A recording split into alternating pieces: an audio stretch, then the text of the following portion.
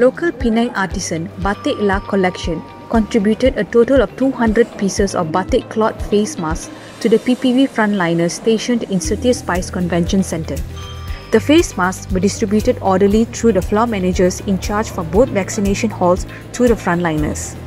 Witnessing the CSR activity included YB Yeoh Soon Hin, Penang State Exco for Tourism and Creative Economy, Ashwin Gunasekharan, Chief Executive Officer of Penang Convention and Exhibition Bureau PCEB, and Roslan Omar, Head of Setia Spice Convention Centre, who also joined by the vaccination centre's manager and respective floor managers.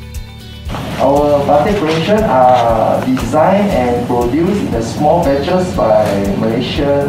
artists and artisans.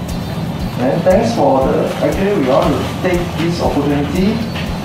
thanks for the all frontliners to give their very best and also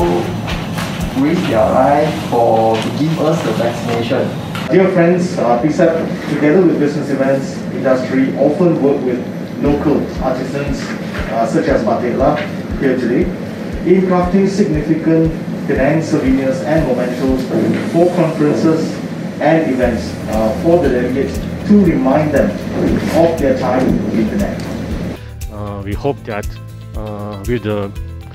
roll up of the vaccination rate in the nation and also in the state, we can have uh, the tourism activity uh, come back as soon as possible